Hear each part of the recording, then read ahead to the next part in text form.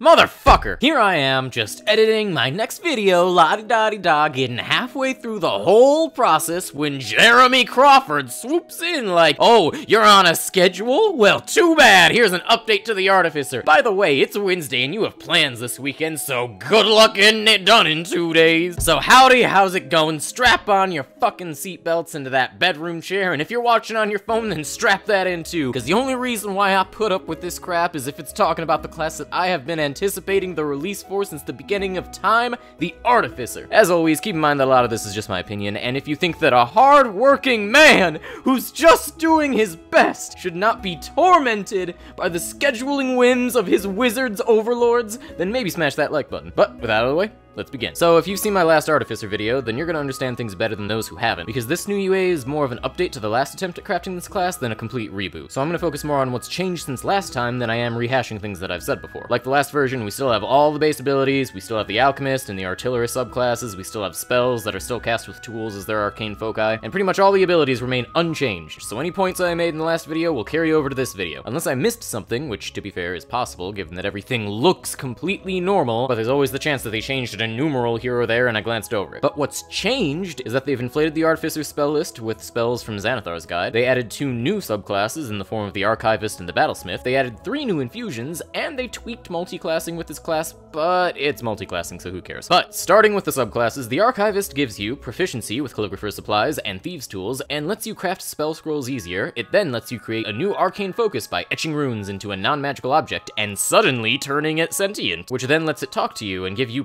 proficiencies in certain skills based on what the object is made out of. You can also summon a small spectral form of it that shines light and can be cast out of. You can overload an enemy's thoughts to do psychic damage and make them susceptible to attacks. And you can even pump spell slots into the actual focus, like a smite, to do more damage. After that one single class feature, the Archivist will later gain abilities to telepathically communicate with anyone holding one of your inventions, no matter where they are, and you can eventually turn into pure thought and teleport to either your foci's spectral form or to one of your inventions. I just don't understand what this class wants you to be in either a mechanics or a roleplay capacity. The flavor text says that you crave knowledge, so your first instinct is to animate a stick or something to give it life and talk to you. And then you're a frontline fighter because of the smites, but you're also supposed to use the ghost thingy to cast for you, so you're actually a caster. And both of those things eat up spell slots if you want them to be useful, but you're a half caster, so spells aren't the point, but they are.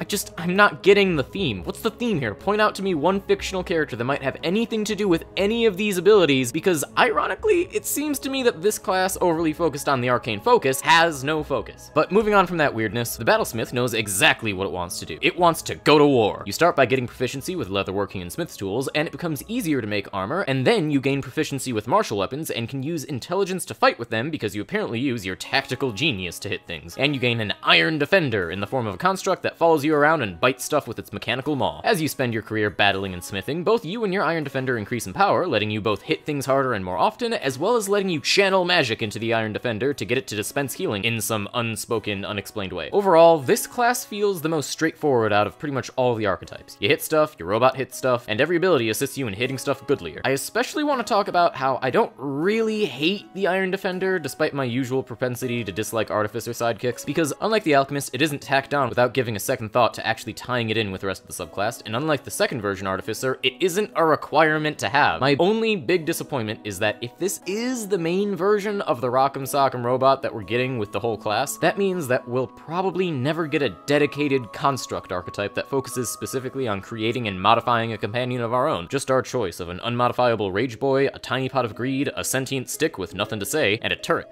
the things that might have been. Finally, moving on to the infusions presented in the article, you are now able to upgrade magical wands into magically your wands that ignore half cover. You can create ranged weapons, especially crossbows, that will not only fire off infinite ammo, but will also ignore the loading property on said weapon, essentially bypassing the crossbow expert feat's most important feature, and ensuring that even when there are no guns in D&D, you can still create cross guns in D&D. And lastly, at 8th level, you can create a special shield that will knock anyone that manages to hit you 15 feet away at the cost of your reaction, no save required. Honestly, these infusions all sound really cool, and they are perfect examples of the creative possibilities of making an artificer class if it could just be left in the sun to bake a little longer. Seriously, forget the magic casting, just focus more on the infusions. They're the coolest part about this class. I don't think it's a stretch to say that people who want to play the artificer want to be able to make magical things with crazy and entertaining possibilities. They want a lot of options so that they can mix and match and build and create their artificer the way that they want it. And I think that these infusions are the Prometheus fire to make that happen if only they would get the brunt of the attention. My final consensus on this UA is that it feels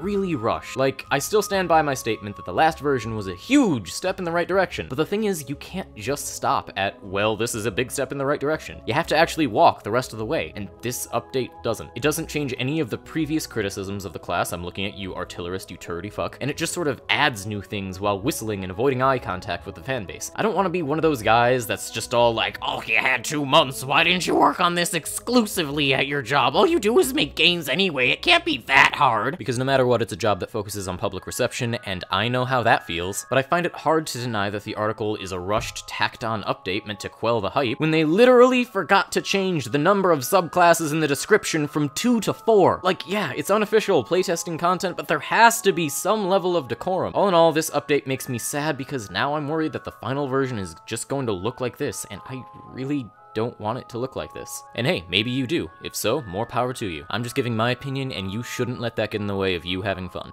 But you know what's more fun? Subscribing to my channel, liking and commenting, and maybe supporting me on Patreon if you want me to finally be able to fund that ultimate construct. But yeah, Davvy out.